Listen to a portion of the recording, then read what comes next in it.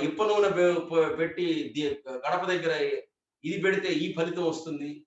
ఎంతసేపటికి మనసు వీటిల్లో ఇరుక్కు ఉంటుంది వీటిల్లో. అంటే నేను ఏదో కార్యం చేసి దాని ఫలితాన్ని నేను పొందాలి నేను పొందాలి నేను పొందాలి అని. ఇక్కడ ఇది పొందేది కాదు. మ- మన నాకున్నటువంటి సమస్త భారాన్ని వదిలేసే మార్గం ఇది. సమస్త భారాన్ని వదిలించుకునే మార్గం ఇది. పూర్తిగా వదిలించేసుకునే మార్గం. అట్లాంటి మార్గం ఇది.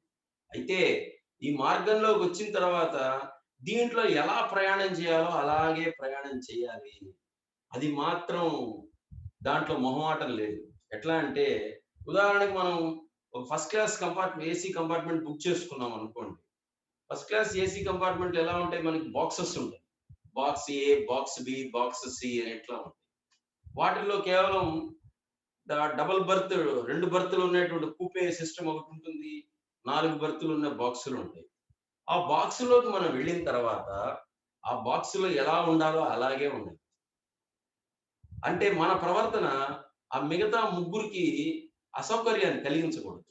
మనం ఒక మంచి మ్యూజిక్ రికా ఇయర్ ఫోన్స్ లేకుండా నేను మ్యూజిక్ పెడతాను నేను నేను వింటాను అంటే ఆ మిగతా ముగ్గురు ఒకవేళ వాళ్ళు ప్రశాంతత కోసం వాళ్ళు ఫస్ట్ క్లాస్ బుక్ చేసుకున్నారు అనుకో వాళ్ళు సింపుల్గా మనల్ని బయటికి నెడతారు వాళ్ళు. అటెండెంట్ ఉంటాడు అక్కడ వాడు. ఆయన పిలిచి అరే తీసే బయటికి వీడి వల్ల మాకు ఇన్కన్వీనియన్స్ మాకు వస్తుంది న్యూసెన్స్ అవుతుంది అని రిపోర్ట్ చేస్తారు కంప్లైంట్ చేస్తారు.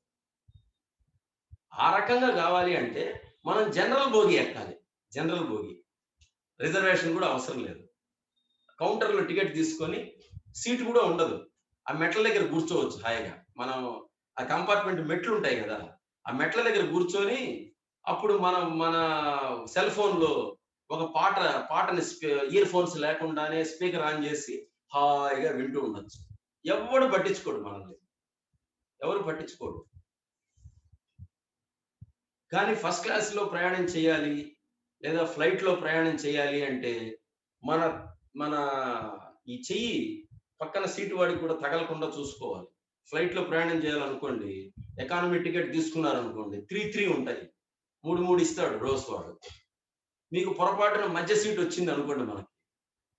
ఇది. అటు ఆల్రెడీ కూర్చో ఉంటాడు ఇటు ఆల్రెడీ కూర్చో ఉంటాడు. ఇప్పుడు మన నేను జాగ్రత్తగా మధ్య సీట్లో వాడికి తగలకుండా వీడికి తగలకుండా జాగ్రత్తగా కూర్చోవాలి.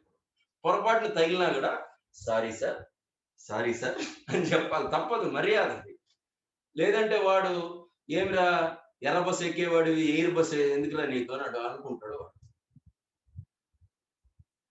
కాబట్టి మనం ఎంచుకున్న వాహనం ఏంటి?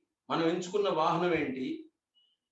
ఆ వాహనంలో ఎలా ప్రయాణం చేయవాలా అనేది ఖచ్చితంగా తెలిసి ఉండవాలా. ఆ రకంగా ప్రయాణం చేస్తే అసలు ఆ సుఖాన్ని మీరే పొందుతారు. ఆ సుఖం మీకే. ఎవరికో కాదు అది. ఈ మార్గం అట్లాంటి మార్గం పూర్తిగా